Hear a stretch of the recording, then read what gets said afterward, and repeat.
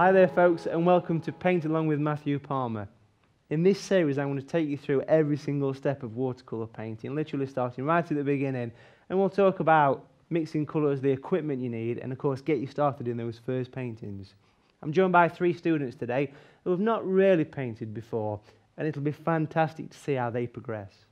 So hopefully I can inspire you and them and give you the confidence that you need to get started in watercolour painting. Let's say hello to the gang. In the centre, we've got Mandy, who you might recall from last time. Hello. On the side, we've got Harry. Hello. And we've got Nigel. Hello. The first painting is a wonderful autumn landscape with an open meadow, and the techniques you'll be learning are wet into wet skies, painting distant trees, mixing greens, and adding foreground detail to give depth to your paintings. First of all, what I want to do is get some masking tape and stick it to somebody's clothes just to take the stickiness away from this one. Round about a third to a quarter of the way up a sheet of watercolour paper. Just going to stick it down all the way across and then we'll mix some colours. Using a nice size 20 brush for this one. Mixing up some basic sky colours really. Plenty of water and a nice blob of natural blue. Nice and juicy colour for this one. This is a nice natural sky blue. Clean your brush and the second colour going to be a pale natural yellow. That could be slightly lighter than the blue. Pop that across there as well. Put that brush to one side and using a large tree brush, mix up some nice thick burnt sienna, or as I call it, bont sienna. Depends where you come from, really, you know. Yorkshire. Yorkshire quality there, look. Burnt sienna. A nice bright autumn colour. So that means we can paint some nice bright autumn trees across the bottom of the landscape. So using the size 20, or the big one as we're going to call it, we get the water on there and water it down all the way towards the tape. Is it a smooth paper there, Matthew? Or It's actually a medium texture. It's what you call a NOT texture. That means it's not rough and it's not smooth. Somewhere in the middle. you didn't just make that up? no, no, it's a, it's a proper artistic quote, that one. Honestly. Nice and clean, nicely covered. Of course, you're working against that drying on you as well. So using the yellow, natural yellow. Very simple sky, just from halfway. Imagine you're painting your walls at home and just literally bring it through from side to side down to the bottom. Just a nice background for your sky. Then go for the natural blue. Get that across the top, and you can see that's a nice, clean, fresh blue there. Leaving one or two spaces for clouds. When the blue comes down towards the actual yellow, it's going to mix and go more grey. Goes on very simple. It's always nice to get a bit of tissue at the side just in case you need it. You can wipe your size 20. you can wipe your size 20 on that one and just work it across. the big begin. Because I'm working on a slope, that might turn into a bit of rain, but that's fine. Put that away and use the the tree brush, the large tree brush, using the bont sienna, sorry, burnt sienna. Stipple the tree brush and just work across the bottom and just sort of dance up and down with your brush, that is, and just tap it.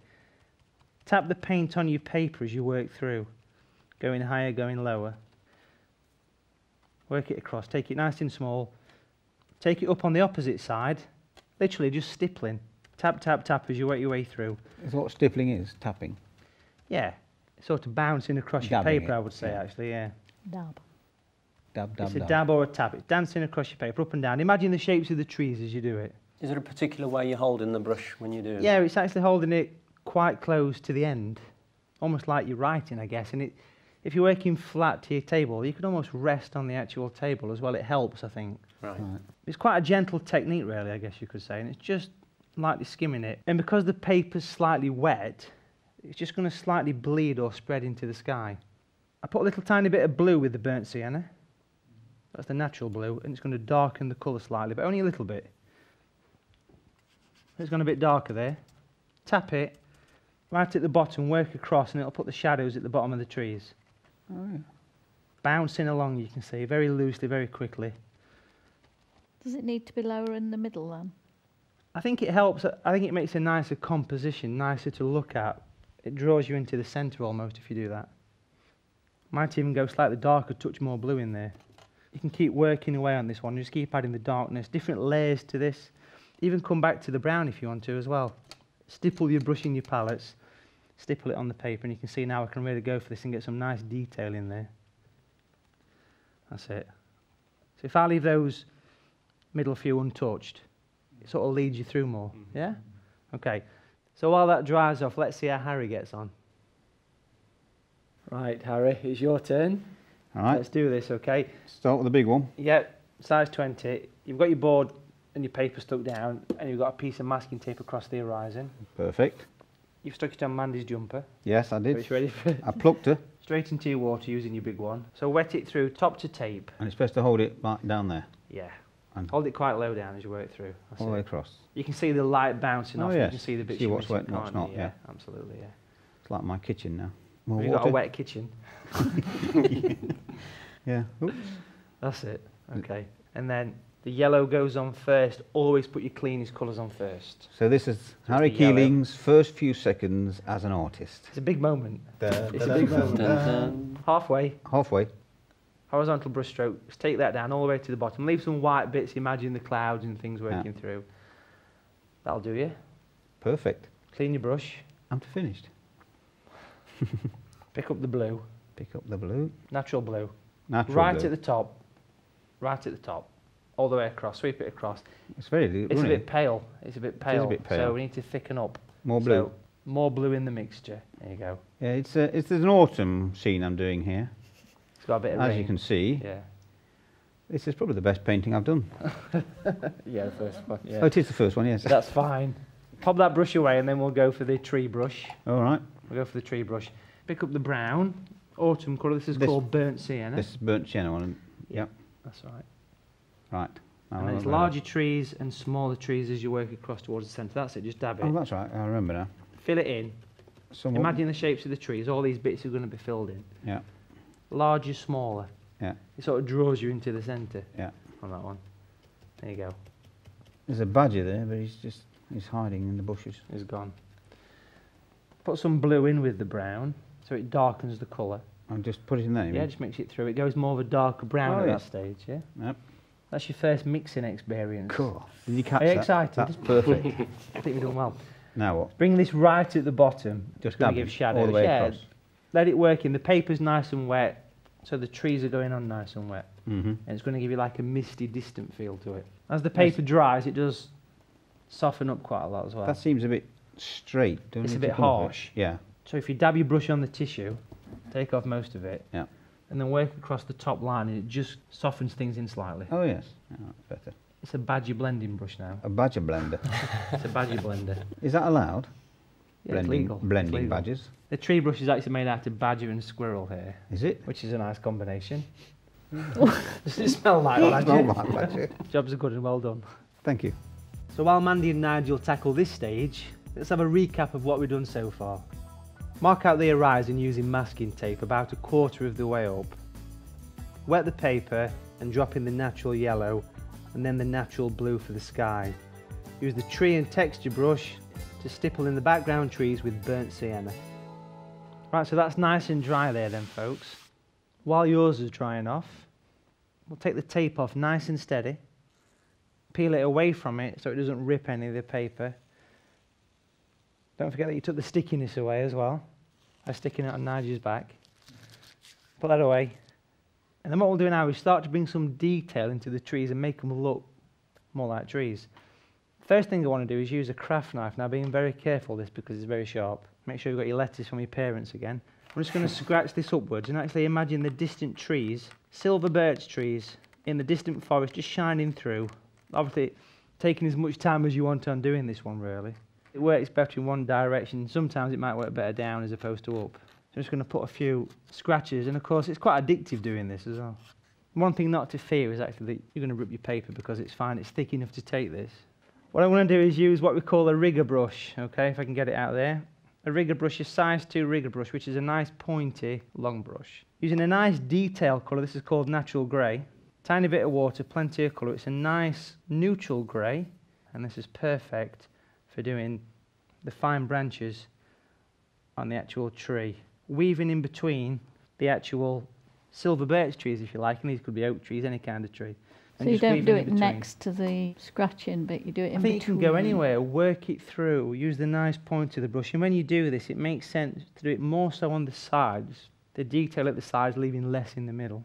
A few sort of winter trees just starting to poke through. Just coming back to the tree brush for a second, this is the large one again. I'm going to be using burnt sienna, tap it in the palette, tap it in the actual mixing area, so the bristles open up.